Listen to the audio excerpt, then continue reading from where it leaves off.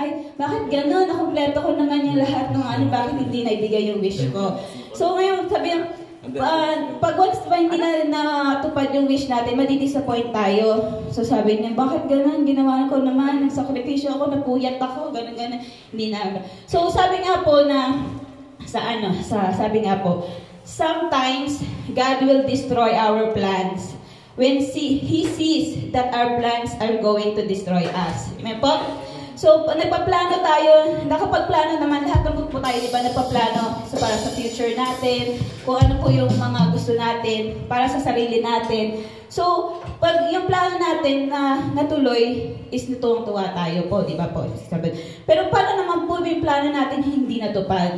So, parang ang uh, disappointed tayo, tapos bigla po tayo, sabi natin, sobra-sobra tayo nagplano, tapos disappointed tayo. Pero sabi nga po sa Jeremiah 29 verse 11, For I know the plans that I have for you, declares the Lord, plans to prosper you and not to harm you, and plans to give you hope and future.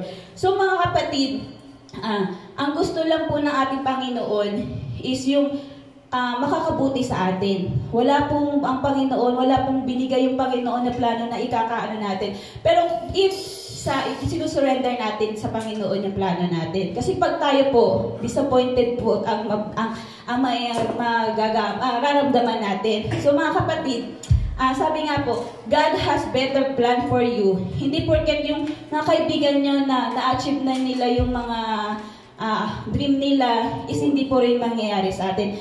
Sabi nga niya, in perfect time. Kaya sabi nga, anything possible to God. Yung breakthrough is not determined of what your age is determined, uh, the breakthrough determined by God. Only God alone. Kaya mga kapatid, sabi po, may three ways ang pag-answer ng uh, ni Lord sa ating mga prayer. Is, sabi niya is one, if it's time.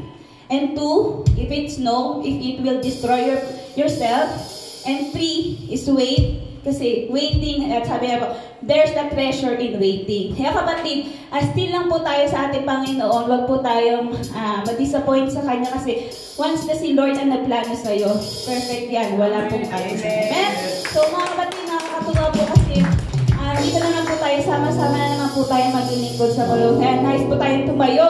Magkamayan po tayo at kamustahin po natin ang bawat isa at kantahan po natin ang kamustahin po natin. Atin. Amen! Hallelujah! Kumusta mga kapatid?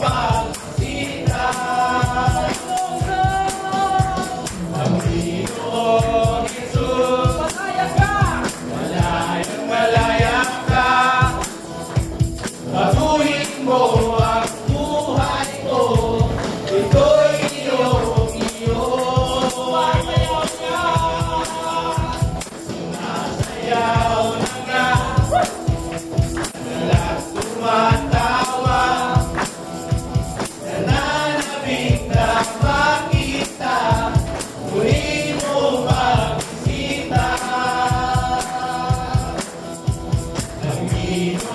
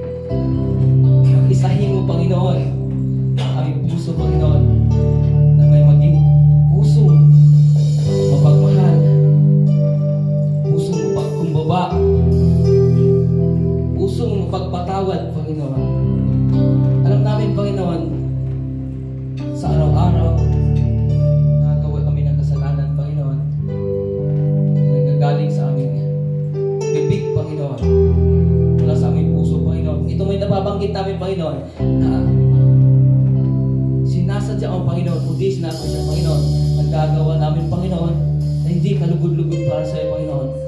Patawarin mo, Panginoon. Pag-isahin mo, Panginoon, sa dakong ito, Panginoon. Na kami lahat, Panginoon,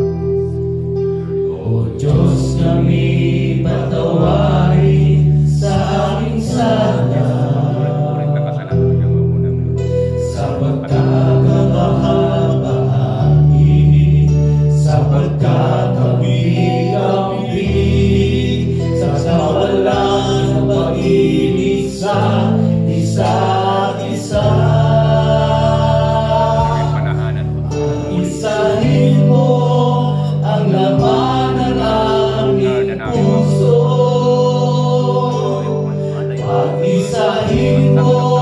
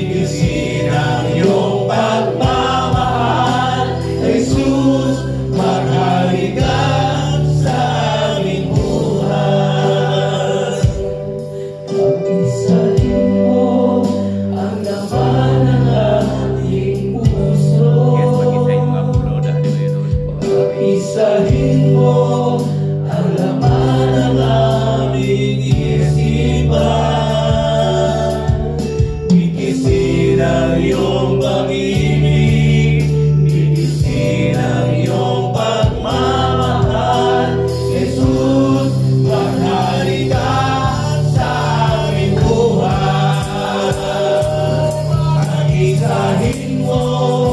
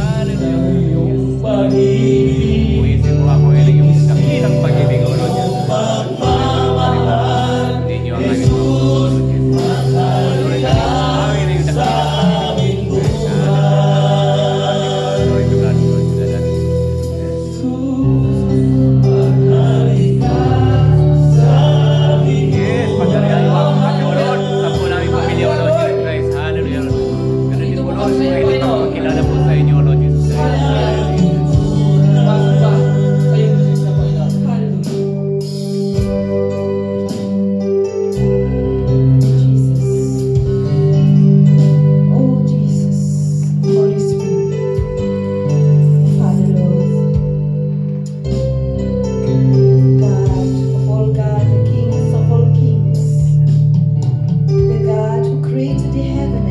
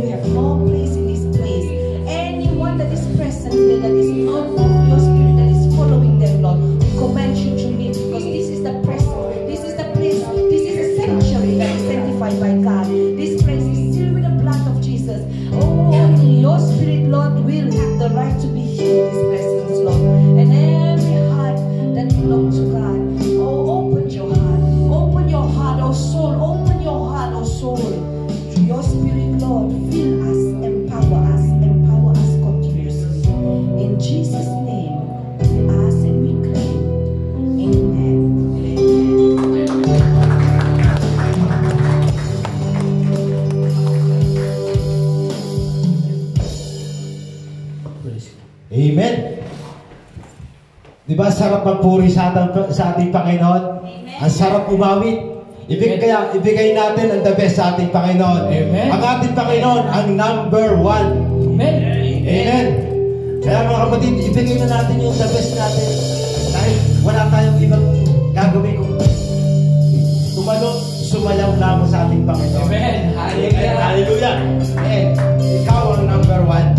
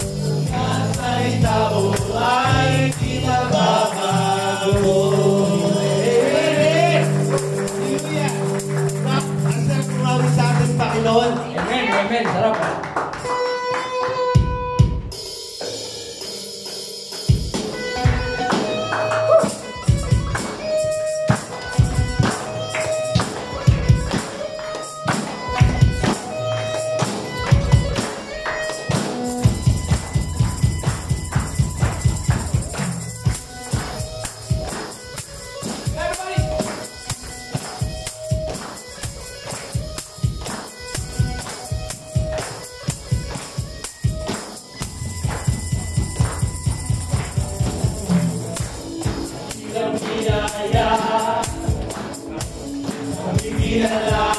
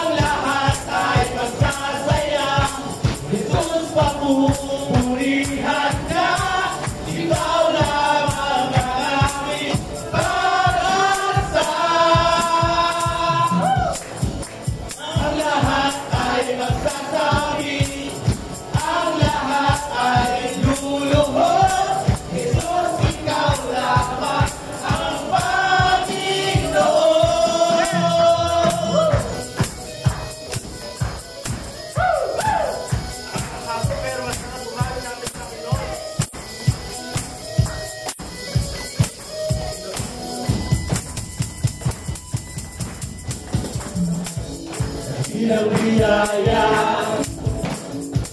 Pag-inilaya Mula sa bihan ng kasalanan